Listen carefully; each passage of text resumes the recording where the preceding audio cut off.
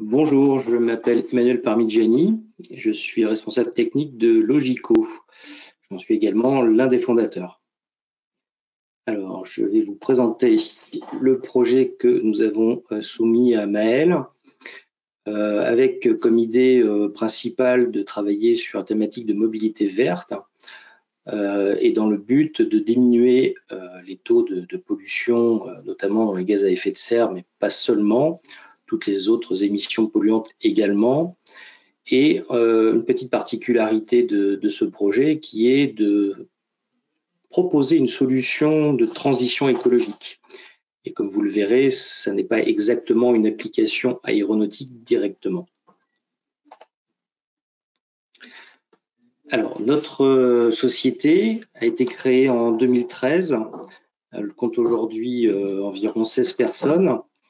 et nous avons euh, développé et breveté une technologie qu'on a baptisée système d'injection euh, d'hydrogène, euh, système qui a été labellisé d'ailleurs par la, Fondation Solar Impulse et qui repose, comme son nom l'indique, sur l'idée de, produire de l'hydrogène de façon embarquée et de l'injecter dans des moteurs thermiques. Ce qui veut dire que pour cette technologie, on a trois éléments, trois briques technologiques principales.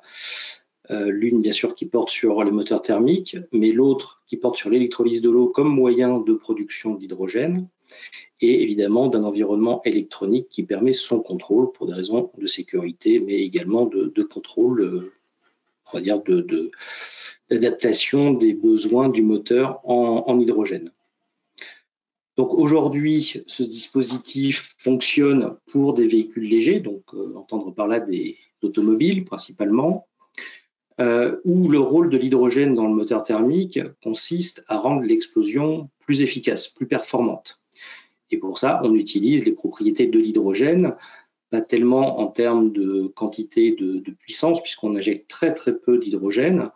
mais uniquement la cinétique qui va permettre d'améliorer en fait la propagation du, front de flamme. Alors, on a, on a mis un certain temps à développer euh, ce concept, à en apporter un certain nombre de preuves également depuis 2013. Et sur l'ensemble des tests que nous avons réalisés ces dernières années, nous avons mis en évidence une réduction euh, alors de la consommation et euh, des gaz à effet de serre, puisqu'ils sont corrélés, environ 12% ce qui peut euh, permettre d'aller même au-delà de, ce taux-là. Et concernant les émissions, euh, les rejets toxiques, type NOx, particules, ce genre de choses, euh, en moyenne, dans les essais que nous avons réalisés, on a constaté une baisse d'environ 40%. Alors évidemment, notre objectif à court terme n'est pas forcément celui de notre objectif à long terme qui veut dire que euh, au cours du développement de cette technologie que l'on destine à tous les moteurs thermiques, l'idée est euh, d'augmenter notre capacité à produire cette électrolyse de façon embarquée, intégrée au moteur, et ce faisant d'aller vers les moteurs de plus en plus grosses cylindrées. Ce qui veut dire qu'on va massifier notre capacité à produire de l'hydrogène. Et donc notre objectif final est de produire de l'hydrogène vert, pardon, euh, qui nous permettra d'assurer en fait un, stockage d'hydrogène pour une consommation et même une autoconsommation pour, euh, par exemple, des sites isolés ou du moins des sites qui souhaitent euh, être plus indépendants énergétiquement. Donc, dans le cadre de Mail, l'écosystème que nous avons bâti, consortium, repose sur des bureaux d'études, laboratoires et des industriels où l'idée, comme on va le voir dans la slide suivante, euh, est euh, d'associer un certain nombre de domaines euh, d'expertise qui vont permettre de réaliser une démonstration sur un plan d'abord théorique, puis pratique, jusqu'à aller à l'essai en situation réelle. Donc je vais passer rapidement sur les, les, rôles de chacun, puisque chacun va retrouver mission au travers des différents niveaux de démonstration, puisque donc l'idée est de démontrer que l'injection d'hydrogène sur des moteurs thermiques permettent de réduire leur pollution. Donc, il y a trois niveaux de, démonstration. Le premier qui consiste en une modélisation numérique. On a choisi un groupe électrogène, c'est-à-dire un moteur assez simple, volontairement, pour que la démonstration et la simulation, plus particulièrement la modélisation, soit la plus simple possible dans un premier temps. Donc une architecture moteur euh, basique, ce qui nous permet en parallèle de faire un banc moteur, toujours sur le même moteur, qui permettra de valider le modèle numérique. Et, in fine, de faire un essai grandeur nature sur un véhicule pour lequel on essaiera d'extrapoler ces, données, mais euh, où le, le, but final sera quand même de démontrer également la capacité à intégrer ce type de technologie en réalité sur un vrai véhicule. Alors, nous l'avons déjà réalisé sur des véhicules légers, mais maintenant, il s'agit de le faire sur d'autres applications qui, pour le coup, vont beaucoup plus concerner l'aéronautique. Donc, il y a un certain nombre de verrous que nous souhaitons lever,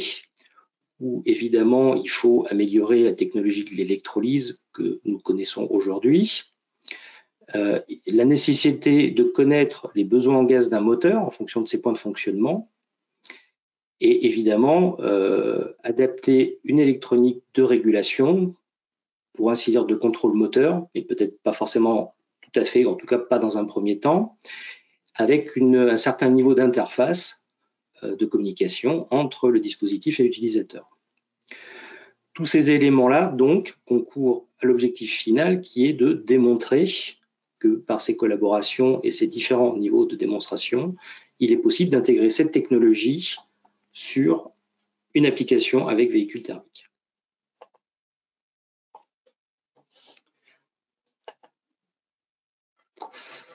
Donc, notre réflexion, c'est que euh, pourquoi on propose ce, type de, projet et cette technologie, c'est que nous pensons que la transition écologique va prendre un certain nombre d'années.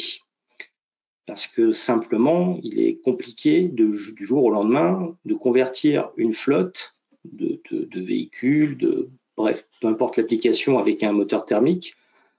euh, de ce qu'on connaît aujourd'hui aux technologies qui vont, euh, qui vont arriver. Donc, notre réflexion, elle est, relativement simple. C'est attend-on que les technologies soient disponibles ou alors essayons de faire quelque chose sur les parcs existants en attendant qu'ils soient convertis à une nouvelle technologie? Donc nous, il nous semble qu'il est préférable d'agir et on peut agir à différents euh, niveaux, que ce soit sur les gaz à effet de serre, donc le CO2, ou sur la santé, euh, en, diminuant également les, rejets toxiques. Donc les trois points majeurs sont évidemment de, réduire euh, ces pollutions, ces deux types de pollution, mais également d'inciter les professionnels à intervenir le plus tôt possible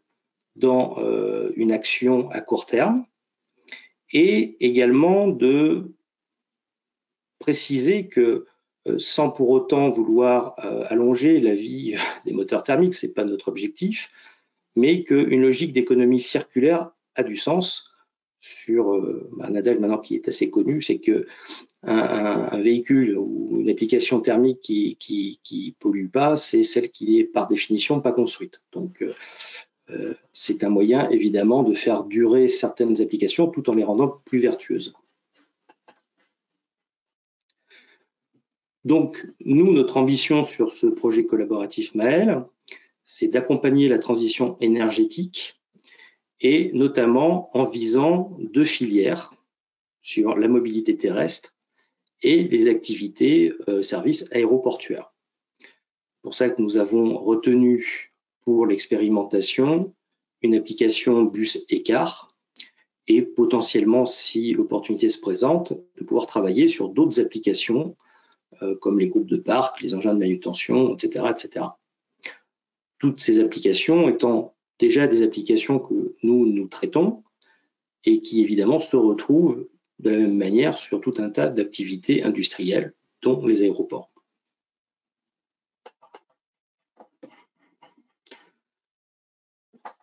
Donc, enfin, euh, l'idée, c'est que l'utilisation de cette technologie HIS permette de minimiser l'impact négatif des moteurs thermiques pendant cette phase de transition. Donc, directement ou indirectement, l'idée, c'est d'initier le grand public au bénéfice de l'hydrogène, de pouvoir communiquer malgré tout sur le fait que ces technologies existent et qu'elles peuvent être adaptées assez facilement et qu'elle est positive aussi bien pour la santé que pour l'environnement. Bien sûr, il y a d'autres enjeux plus compliqués, mais qui nous touchent tous, comme par exemple les accès aux, zones à faible émission, qui sont un vrai problème pour tout un tas de, de flottes, et y compris pour les particuliers. Et dans cette idée-là, d'essayer d'amener un certain nombre d'éléments probants et utiles pour faire comprendre aux autorités, aux exploitants, à tous les intervenants euh, dans, ces zones qu'effectivement, si on travaille sur euh, ces rejets, on peut peut-être faciliter l'utilisation des véhicules en attendant d'avoir de meilleures solutions. Donc, cette proposition, elle tient compte du fait que euh, on rentre quand même dans tous les objectifs d'acceptabilité qui sont promus par l'ONU et évidemment, on incite de cette façon aussi euh, à amener les entreprises à euh, intégrer ce, type de dispositif dans leur politique RSE, puisque les avantages sont à la fois écologiques, euh, sociaux et économiques. Je vous remercie. J'en profite pour présenter très rapidement Jean Arjot, le président, et Michel Tépenier, qui est également cofondatrice de Logico avec moi.